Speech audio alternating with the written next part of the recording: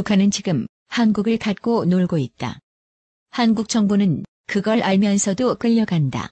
지금의 북한 체제를 만든 건 김정일이다. 김정일은 고등학교 때부터 정치에 참여했고 1964년 대학 졸업 후엔 권력을 장악하기 시작했다. 1982년이면 김일성은 이미 허수아비 상황이다. 독자적인 세습 왕조와 정교한 개인 숭배, 선전 기술은 모두 김정일에 의해 구축됐다. 이렇게 만든 시스템이 아직 작동하는 거다. 지금은 괜찮지만 한계가 오면 툭 끊어질 거다. soft landing은 없고 hard landing, 즉 김정은 대에서 붕괴할 거라고 본다. 박근혜 전 대통령 때의 대북 기조를 조금만 더 유지했어도 무너지게 돼 있었다.